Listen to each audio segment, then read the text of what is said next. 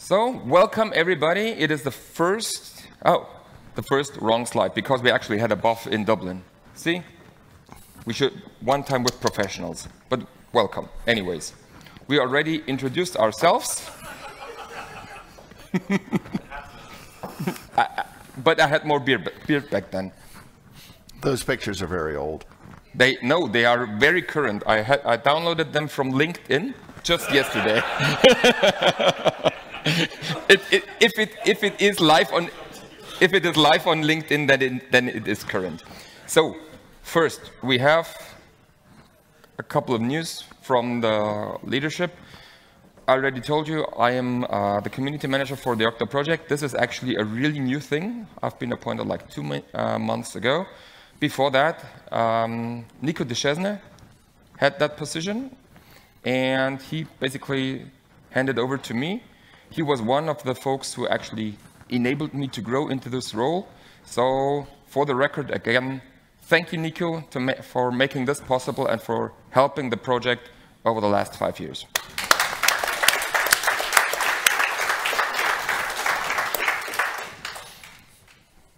Having said that, there are like two newbies in the organization. One I explained already, that is me.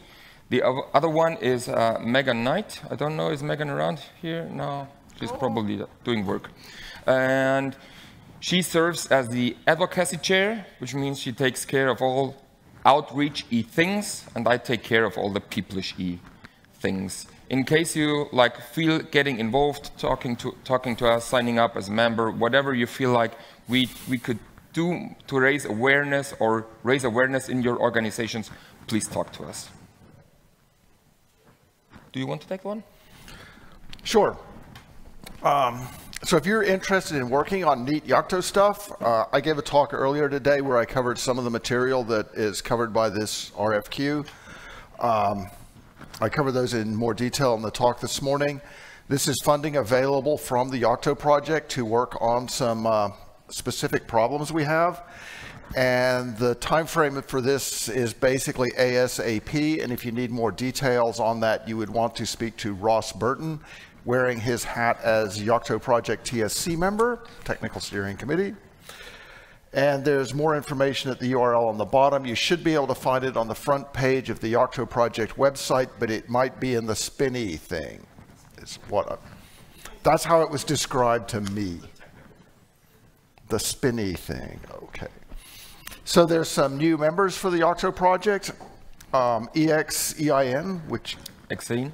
Exein, okay. I'm not super familiar with them, but they've been great. They are doing uh, some security fancy stuff for embedded devices, and they're from Italy. Thank you for signing up. And Qualcomm has signed up as another member, so that is platinum really good. member. Platinum, yes, very. We love platinum members. We also like our silver members, Bootlin, Konsulko, and the Smile. And again, formally pointing out, there are others too that also have signed up which for various reasons just do not want to be mentioned. So in case you have money to give away for no good reason and don't even want people to talk about it, give, oh. give it to us. Okay. We will promote you, but if you don't want to be promoted, we'll take your money. Cool stuff. Um, do you want to do this one? Okay, I'll do, do this one.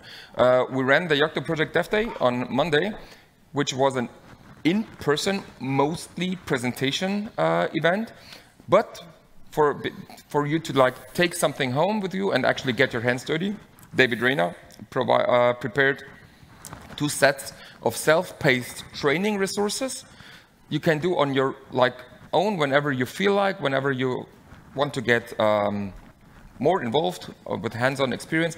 It, uh, it's two things. It's the dev tool stuff, and it is a new class on user space, which features a lot of topics that are like relevant for eh, people getting started and everyday tasks. And it is uh, reachable under that very uh, ugly link.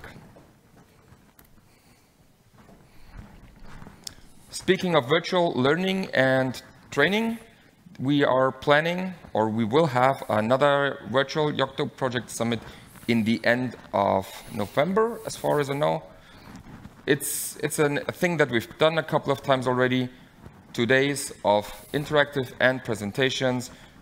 Everybody will be there for you to just like explain, interact.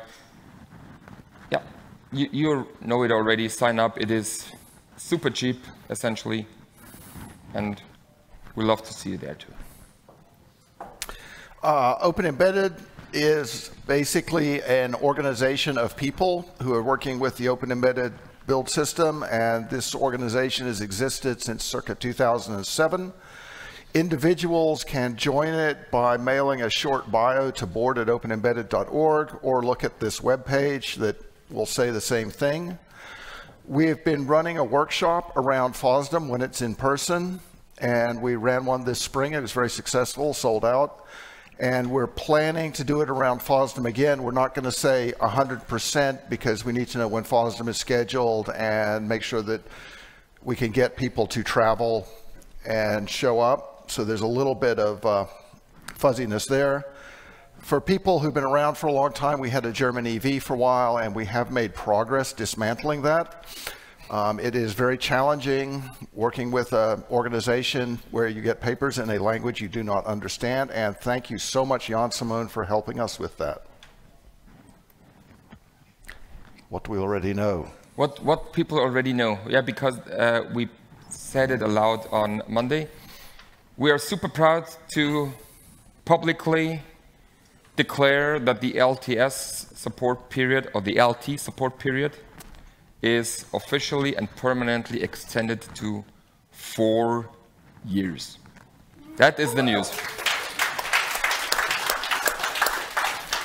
And you should also thank the members of the Yocto project for making that decision and spending the money to make it happen. Um, LTS releases are not free.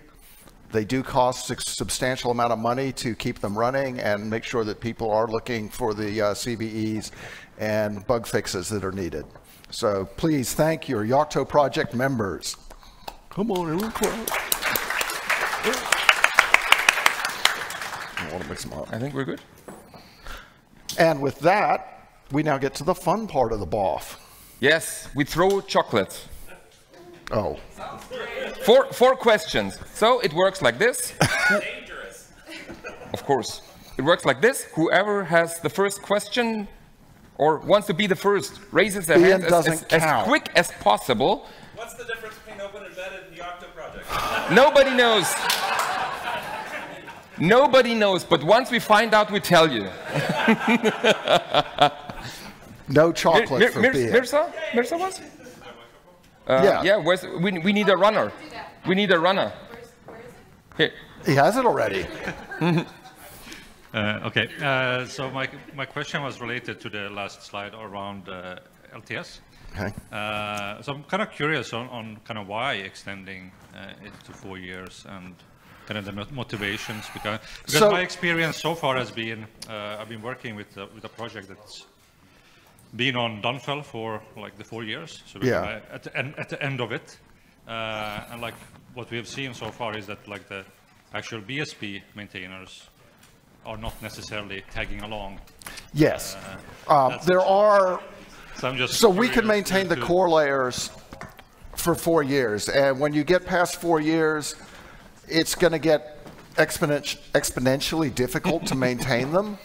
There are project members that will sell you longer term support contracts, and we don't want to step on members that who are actually charging money to do this we're basically trying to make it as easy as possible for people to use the Yocto project, but at the same time, it is a collaborative project and you know there are limits to what we can do. And you go past four years and it gets hard. So the reason for moving from two to four is because two was too short for a lot of people. Yeah. So a lot of BSP layers, you know, even now are not at Kirkstone yet, right? But from the other end of it, having it go to six or eight or ten, right? Like Dunfell is actually quite difficult to fix all of the CVEs at this point. And the reason is that all the upstream projects keep moving forward, and they will not backport their their fixes to all of their stuff, and we don't have the resources to do it either. Yeah. And so then we we just end up with th- that technical debt. So our advice is actually every two years, grab the new LTS or whatever. Sorry, every time a new LTS is available, move to it. Yeah. And uh, on that on that occasion, let's uh, give a big shout out to Steve Zuckerman, who is, when he's not brewing his own beer and grinding coffee, doing an excellent job as the LTS maintainer. I wonder if he woke up for this. I wonder if he woke up for this. I don't think so. Next question. Okay, this is going to be a long throw. Buckle up.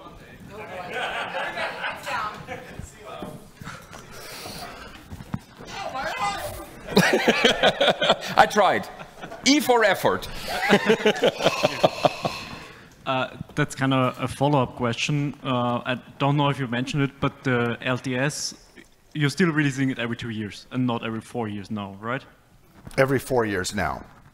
Okay, No, so, no, no. Oh. okay. so we have every two maybe year, every two misunderstood the years we have a new LTS, but it stays for four years, right? Exactly. So Good. Dunfell will basically go into zombie mode next spring, and Kirkstone will stay around as a like as an adult, and whatever crazy name Richard comes up with in the next spring release will then be like the new kid on the block with a lifespan of four years, and Kir- Kirkstone has another two years ahead.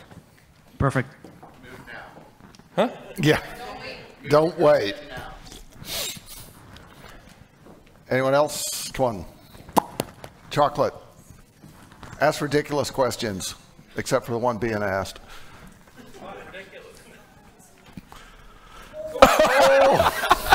Oh, I'm sorry. I'm sorry. Uh, okay, actually, I'm not sorry because it really looked funny.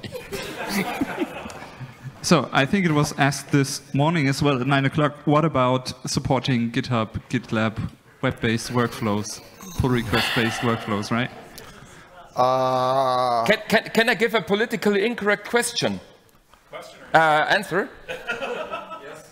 Okay, the answer is we do not have the resources to follow up with more than one submission channel. So if somebody cares about those ways in such a strong feeling to make it that it needs to be possible, sign up, dedicate engineering, and make it possible. Currently, we have a, let's say, known supply of developers that, we do not want to lose, because without them, we would be not here.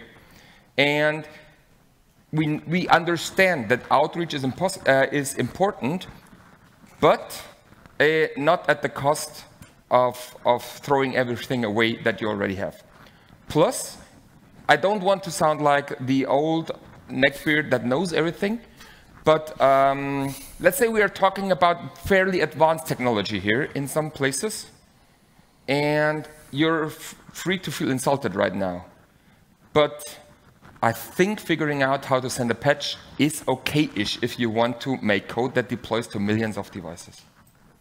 I'm also told that ChatGPT can send email for you. Terrible at writing recipes. But it tries. It does try. Yeah, it's a difficult problem, and we are painfully aware that a lot of people culturally are not happy sending patches via email, and we talk about it. That's why I said it is a politically incorrect answer. Yeah, I know. Next, next person chocolate. with Is it okay? We got one from the internet. That one was Excellent. good. It That- says, um, "What is the distro etymology for Poky, and which um, major list, Linux distribution is the Poky reference distribution most like?" It is like a Japanese form of chocolate, because that's actually where the name comes from. Pocky. Yeah, Pocky Sticks. exactly. And it is like no distribution because it is not a distribution. Let me let Oh, me no, no, it's a reference distribution. Pocky is a chocolate stick. It is not a Linux distribution, but it helps you to create your own. No. In- with by, by ingesting chocolate. I just don't agree, man. No, not sure. Hmm? No, it's a reference distribution. It's a reference chocolate. I, if you want, I would answer that as saying it's probably most like Debian because a lot of the patches that get applied to recipes to fix things were copied from Debian in some senses. So it might have a slight flavor of Debian with sys5 in it, Where's the mic? but that's just sort of an off-the-cuff answer. I mean, it basically Okay. is its own Um, distribution. Can I give an answer? Uh, is there any distribution left that is using uh, init scripts and not systemd? Because that's what, what Poky is. So it's not like anything else out there, is, is it? So when is Poky going to start using systemd as a default? When's Poky going to start using systemd as a default? Never. Famous last words. Huh? Famous last words. Yeah. I mean, it's a hard question. And sys5 init is another thing that might shape your opinion of what distro it is most like. Probably. Did you come up with that yourself or? No, it's emailed to us. Seriously? Wow. You can read email. yeah, one, one day you have to explain it to me. Let's praise ChatGPT. Catch ah. an email for him. Okay. And more people, ask us questions. Anything you've ever wanted to know. If nobody asks, then I'll start asking stupid questions. And you don't want that. We'll start asking. all- oh. Yeah, give him some chocolate because I asked him a question. Mo- More? Yeah, that's, No, we that's perfect. we already asked you a question. Um, not specifically a question for you, but a question for the audience, pretty much. Whom of us people in the room use System D with the Yocto and whom uses Okay. System Some- 5 in keep, it? keep, your, uh, keep, your, keep your arms up. Yeah. Keep your arms up. I mean, Thanks. these Yeah. are a lot of hands, as far as I've Who seen uses it. sys5 init?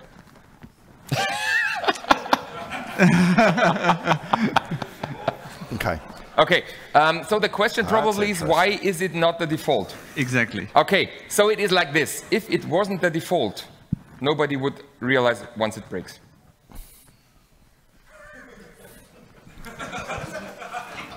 I'm going to be brave and put on the record that I do want to switch Poky to System D and Poky all config to sys5, but I can hear the hissing from Richard across the oceans. um, so I think that's the right thing to do, but obviously reasons. But photos of that survey would be useful evidence. I'll, I'm going to Yeah. take another one. Do you want to you raise your hand again as the only um, admitting System uh, 5 user? That, then it doesn't count. It doesn't count. Oh, yeah, Alexander also. Okay, Alex, please. Would the real Alexander please stand up? Please stand up. Okay, the o- no, the, on, the only the only uh, System 5 user in the room. Uh, sorry, but you can get another chocolate for it. Um, I will say that I have talked to people who use sys5 in it because System T, System D based distros uh, tend to be too big to fit in QSPI. And that is an actual interesting problem. Yes. Yeah, I, I'm just. Yeah, I think that's an aberration, and we need to think about that. And if I was talking to Linux for Space people, I would suggest they look at init systems very carefully. Um, so I have another question for the audience. How many of you are using a release older than Dunfell? And It's okay, you can admit it. We won't.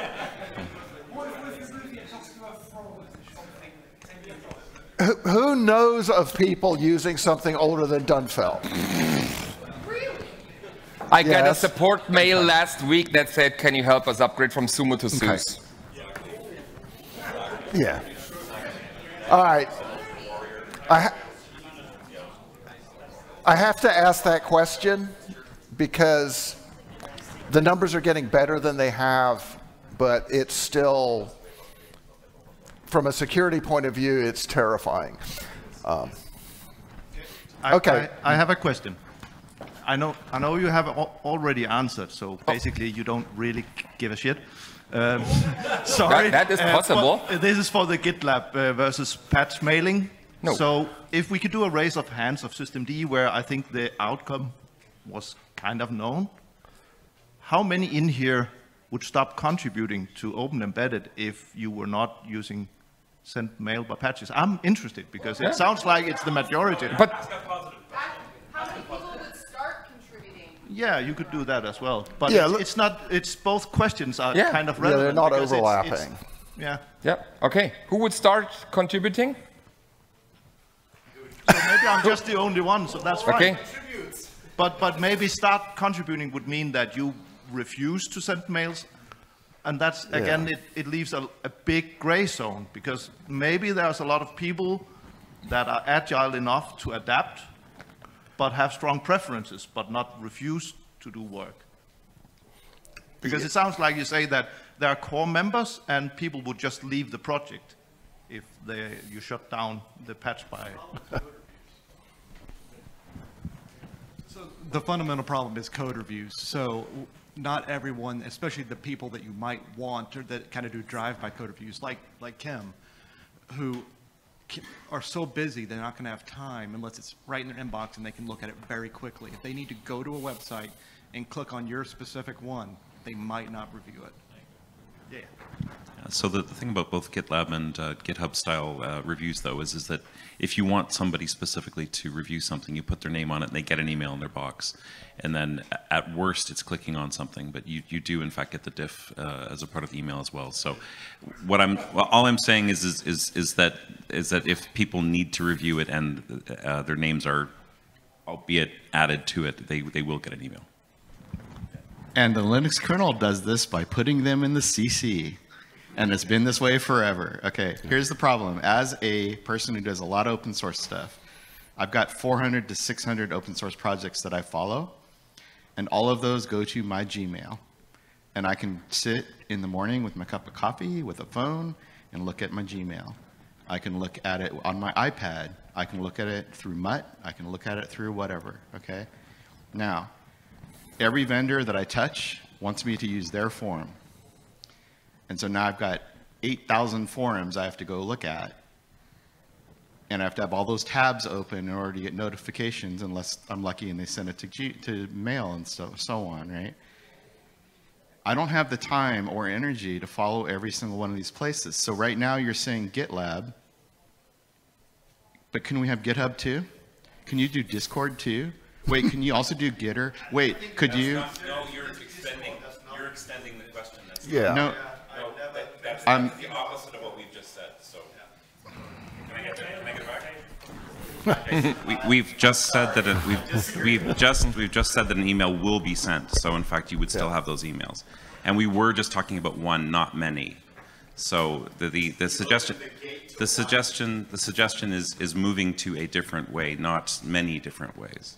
So and I I, I, I, I also want to point out that that. Uh, uh, one of the problems that we have in Open Embedded is there's there's a few people doing a mountain of work, yourself included, uh, and people are burning out. Uh, on-ramping people in order to start helping, the easier you can make it, the better. Now, what that means is change for the people who are already doing a lot of work. But if you can on-ramp people faster and using tools they're already familiar with, it makes it that much easier to ultimately get people in to actually start offloading you so you can do things. So I get you're, you're comfortable with your way of doing things, but I, I would I would urge you to be open to something that allows people to help you more easily. Yeah, that's not my point. Yeah, can we? I understand, but that's the point we're Can we trying to take make. the rest of this conversation to after the BOF?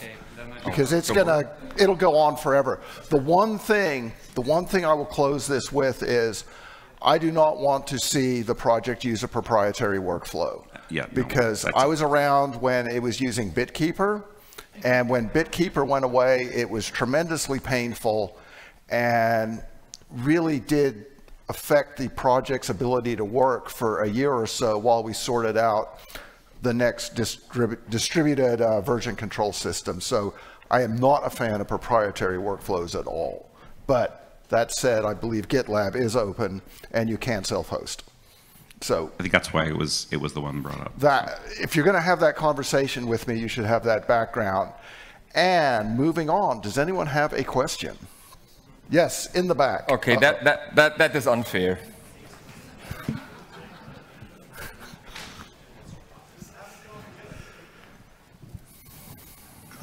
That is so unfair that Nishanth can come up and fetch his chocolate. No. Uh, this is more a um, question for the for the entire group. Who uses crops, and do you find it useful?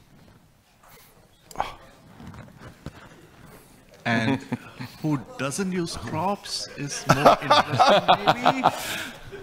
Who is crops? um, so, Nishanth, maybe you should describe how you want to use crops and see who would like to do that. I mean, let, let, rather than talk about a specific thing, let's talk about the general thing. Right. So the common complaint we have among our users or introduction. So I work for TI, and we have the infamous Meta Arago that we create as a distribution on top of um, Yocto layer. Uh, and a lot of our products and customers kind of take derivatives out of that, add their layers, and create products. The typical challenge that we have are especially customers with maybe one or two engineers kind of range who are not very familiar with the Yocto. So build systems, right? Um, favorite thing, every package, dependency. Um, when we started um, recommending uh, documentation to read, and that's been a disaster. People forget to install one package, they have a different ver version of the distro, things have never worked. The solution that we found was to use crops. We started using crops as a container for doing build systems, both uh, for our customers and in our build environment. So we have a build farm too. Um, and that has saved our life quite a bit. I'm kind of curious, is there anyone else in this group who actually use it? And do you find it useful? Any areas that you think it can help improve?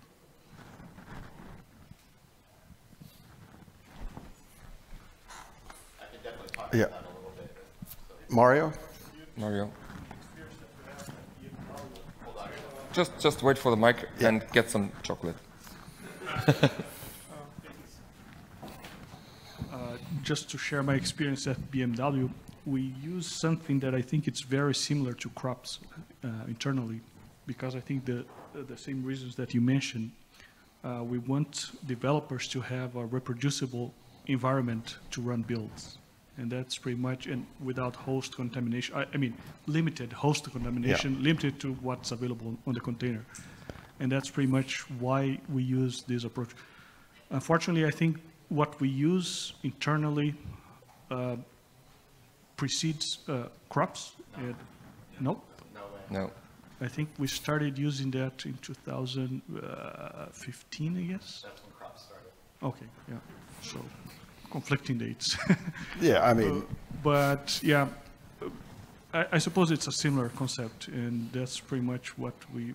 Uh, the, the, concern that we have is reproducibility in uh, some kind of environment that developers can use without messing up with system dependencies and stuff like that. I want to ask the actual question, which is how many people are using containers as your build system?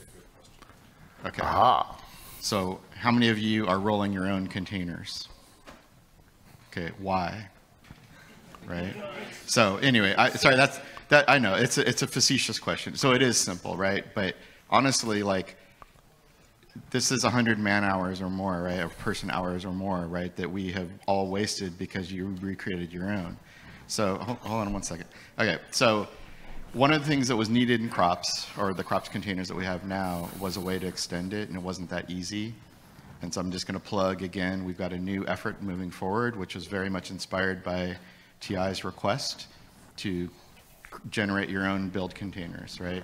So now there's a, for those of you who are, you know, doing your own thing, you might look at a way to, you know, go onto something that's going to be standardized and supported and everything instead of having technical debt. Yeah. So anyway, I'll, I will let you respond though. And Tim and Pidge had a talk on that on Monday. Okay, my, my comment is simply that I roll my own, but I think that's putting it a bit hard because I basically just look at the, the quick start guide.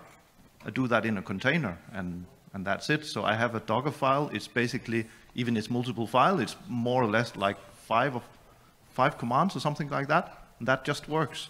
And, and going to crops is like exploding to a complexity of times thousands of something for, for nothing. the so problem- I think it, it, I think if if we put what is in the quick start guide in a simple Docker file and had that as an alternative, a lot of people would use it, I guess. But maybe it's true. This is exactly what's in the Yocto base container and the Yocto builder. So what did we add? We added the, the ability for it to automatically go into a mode that can use BitBake. The other thing is I'm going to guarantee that half of you are doing something wrong in terms of user ID and GID and things like that. So there's problems with using containers that are very, very hidden. And so we already went through that and made things a little bit better. So to claim that it's a thousand times harder, git pull crops slash Poky. You're done. It's it's even fat, and it's in the getting started guide as well, right? Anyway, but Tim? Yeah. Mario had his hand up. Well, Alex Oh, first. okay. Let's keep rotating because we're running low on time. Yeah, if the problem is merely that the tools on your host distribution are wrong, then you don't need containers at all. You just uh, install the buildtools tarball and uh, it will tell you what to do. Um, and I personally don't like containers because in general I don't like uh, unneeded abstraction layers. And if I can avoid unneeded abstraction layers, I absolutely do. So. Mario? Mario? Another thing that I should add, uh, in the tool that we use, uh, the user containers, uh, besides this uh, feature that we want to restrict the, the level of mass that developers can make, it also, more than that, in a way that it serves uh, as uh, a glue between the, the build system and the CI system. So it's really extensible. It s- steals some ideas from Yocto, for example. It can be extended because in uh, BMW has a a great vari- a variety of systems that we build. And each system has a little bit of a difference, even in the Yocto configuration. And this tool kind of wraps the Yocto configuration and allows different systems to extend it. So it's a bit complicated and tailored to our needs, but it, it serves especially to uh, have build reproducibility and it serves as a glue between the build system and CI system. Okay, so you just summarized exactly what TI wanted to do and exactly why Crops Generator has been created. So that's so please, if this is part of what you want to do, we'll be having a meeting. Join. All right. So we got five minutes.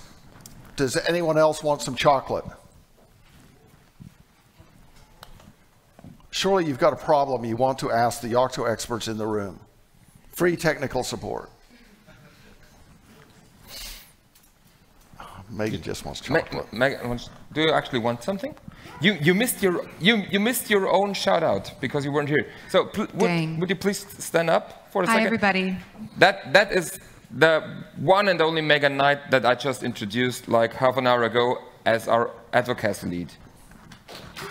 Hello, hello. And yes, my question is advocacy related. Uh, what event would you like to see us at next?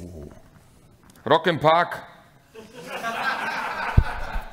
Where are we not and we should be? Is there an event that we're missing? We tried Embedded World for our first time this year and it was really well received by the community. So I'm just curious. Any suggestions? We do not plan to be at Open Source Summit Europe due to the lack of embedded and IoT content. If that is a miss and you think we should be there, we're open to having a conversation. Um, LinuxCon and there is the kernel summit, so those are the most relevant things there. The rest is pretty distant from embedded. Kernel Maintainer Summit, the invite only one for like 30 people. There's also the general Yeah, LinuxCon. Yeah, yeah. I got you. I mean, the thing we're really interested in is new and novel shows that we haven't been to before. Where do you guys hang out if you're not coming to this event? Netflix? Was that a serious answer? I, I didn't actually hear it, but it seemed Yeah. funny. Follow-on question from from a different perspective: Where do your managers go? Ooh. Good question, good question, Tim. Well done. What shows do your managers go to? And Seriously. What?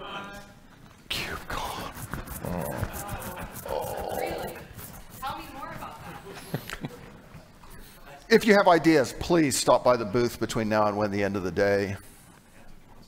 So we realize we keep talking to you know those of, of you, and you're here. So we already reached you. Embedded World, Nishanth says. I'm pretty sure Embedded World will be on the calendar in the future. It, it will be. Yeah. Europe, minimally, North America, TBD. Okay. Do they have an Embedded World in America? Yes. It's For the first time ever, Embedded World North America happening October in Austin. Yes, it's a brand new event, th- uh, 2024. Yes. What year is it now? Oh, yeah, no clue. It has been a long week. Okay, we have we have one minute, which means one question with a short answer left. That is a very short answer. It's dead and gone. People might be interested in it, though. People might be interested in it, though, is a story I heard. And the Eclipse plugin. It is dead and gone. Josef, um, what is the official Yocto project song of 2023, according to you? Uh, the official what? Song. Song. That is a tough question. If you ask me, then probably something like with a pirate uh, party, uh, pirate treasure party crew," something like that. We are here to drink your beer. no, The metal Th- th- version This is not an official statement. Um, let, let me let me look at. No, seriously. Okay, this is this is a good question. if no, seriously, I have. It was supposed to be I- I, know we're on time, but give me give me 15 seconds. 15 seconds. I tell you. I'm sorry. That the state, that the official song for the state of understanding of embedded Linux, Yocto, and the support by vendors is sad but true. Oh.